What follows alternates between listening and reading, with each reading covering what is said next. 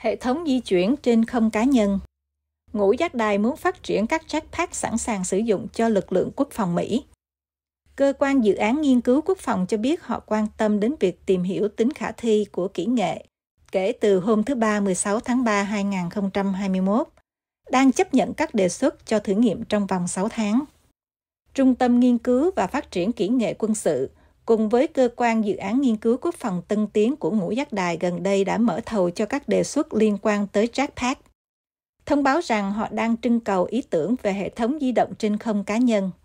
Đặc biệt là họ đang tìm kiếm một hệ thống bay được hỗ trợ có khả năng di chuyển nhanh cho một người. Mặc dù Bộ Quốc phòng Mỹ không gọi chúng một cách rõ ràng là Jetpack, nhưng nó được gọi là hệ thống di động trên không cá nhân. Cơ quan dự án nghiên cứu quốc phòng cho biết những bộ trang phục này có thể rất hữu ích trong nhiều bối cảnh và hoạt động quân sự. Có thể phục vụ nhiều nhiệm vụ quân sự khác nhau, bao gồm giúp quân đội có thể băng qua chiến trường để giải cứu cho phi công bị bắn rơi, chiến đấu trong thành phố, tìm kiếm ra vào chiến trường, ngăn chặn hàng hải trong số nhiều điều kiện. Những người lính sử dụng jetpack có thể bay lượn trên trận địa và lẫn sau chiến tuyến của đối phương có thể sớm trở thành hiện thực. Các hệ thống có thể hành động trên không, cho phép xâm nhập vào lãnh thổ đối phương hoặc là trên mặt đất, cho phép khả năng di chuyển trên đường cao hơn. Cơ quan dự án nghiên cứu quốc phòng viết khi giới thiệu đề xuất trên trang web hợp đồng kinh doanh của chính phủ liên bang. Các hệ thống sẽ được sử dụng một lần hoặc là tái sử dụng, miễn là hệ thống yêu cầu nhỏ gọn hoặc là sẵn sàng cho nhiệm vụ mới. Hệ thống có thể sử dụng các thiết bị hoặc là sửa đổi hoàn toàn mới đối với các hệ thống hiện có, nhưng nó phải nằm gọn trong một túi hoặc hộp. Các bộ trang phục phải sử dụng nhanh chóng, đơn giản và hiệu quả. Các hệ thống được yêu cầu có thể khởi động mà không cần sự trợ giúp từ các thiết bị khác. Các yếu tố môi trường, chẳng hạn như gió hoặc là độ cao để khởi động hay phục hồi. Cơ quan dự án nghiên cứu quốc phòng muốn hệ thống hoạt động không dễ bị nhìn thấy, ít tiếng ồn và tín hiệu hồng ngoại tuyến.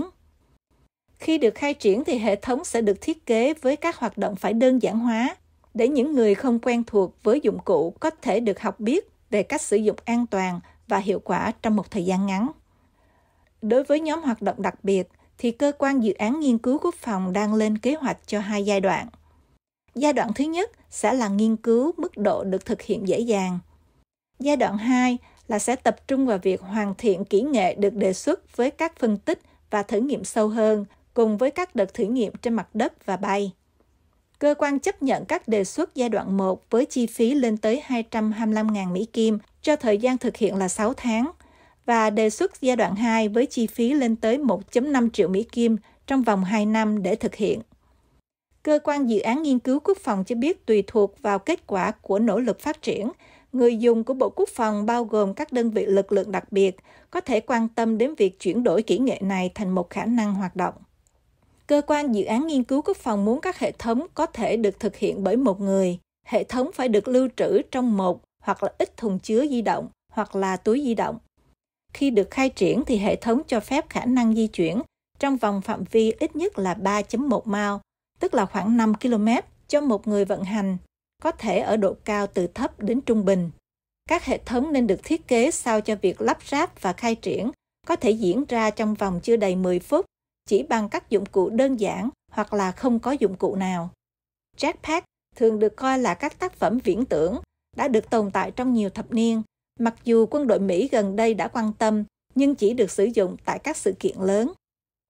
Vào năm 2020, thì Hải quân Hoàng gia Anh Quốc đã trình diễn một số nhân viên nhanh chóng lên thuyền bằng cách sử dụng các jetpack có tên là jetsuit do Gravity Industry sản xuất, bao gồm một thuộc pin lớn đeo như ba lô và hai thuộc pin bổ sung nằm hai bên tay.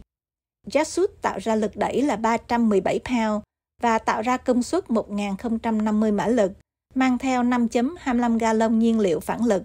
Điều đó sẽ cho phép nó đẩy một người dưới 200 pound trong vòng 4 phút. Hệ thống này có thể bay có người lên tới 85 dặm cho một giờ. Công ty đã sử dụng Jetsuit có giá là 440.000 Mỹ Kim trong một cuộc thử nghiệm có thể đưa các nhân viên y tế lên núi trong trường hợp khẩn cấp và đưa người lên hàng không mẫu hạm. Một ví dụ về kỹ nghệ được quan tâm bao gồm các jetpack, tàu lượn bay bằng năng lượng, bộ cánh trợ lực và các tàu ngầm được hỗ trợ. Hệ thống di chuyển trên không cá nhân có thể được cung cấp bởi kỹ nghệ đẩy điện, pin nhiên liệu hydro hoặc hệ thống đẩy nhiên liệu nặng thông thường.